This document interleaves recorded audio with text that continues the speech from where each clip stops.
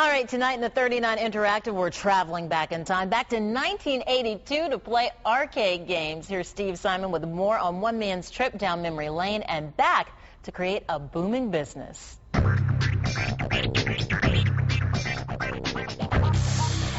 Hold on. We're turning the clock back about 25 years. He slimed me. Now that you're in the right decade, many of you are about to get some deja vu, and it's all in one place downtown. Usually their first word is, oh my gosh, I haven't seen a Pac-Man in 23 years. it's almost like back in time with Michael J. Fox. You walk in the front door and you see stuff that you've seen when you were younger. Charles Callis gives us a tour of Joystix, his video game store near Minute Maid Park. It's one of the few places like this in the country. Yeah, there's new state of the art games here, but it's the rare games that many people uh, eat up. Callis makes a living renting and selling these games. Some of the classics cost over $1,000. This baby Pac Man was the first video game pinball combo. There are only about five turkey shoots available today, feathers included. You know all these names from the early 80s Millipede, Galaga, Zaxxon, Paperboy, watch out for those hedges, Berserk, the first talking video game.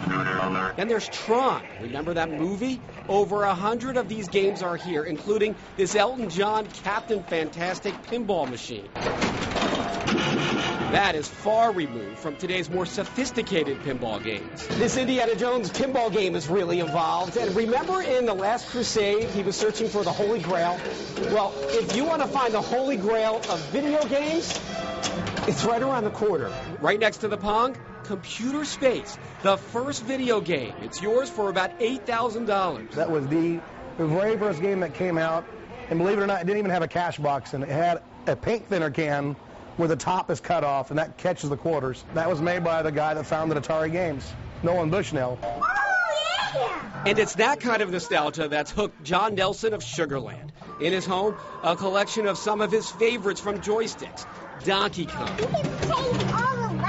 and pinball. Nelson's kids play the games he loved as a kid. This one's a hard one. Well, they like the pinball because there's a lot of action in it, but the the, the multicade or the old arcades, th- those are the ones that you have to explain to them that this is what Daddy played when he was your age.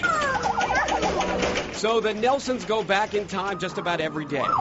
At Joystix, it's a lot of old school in a relatively new business. For 39 Interactive, I'm Steve Simon.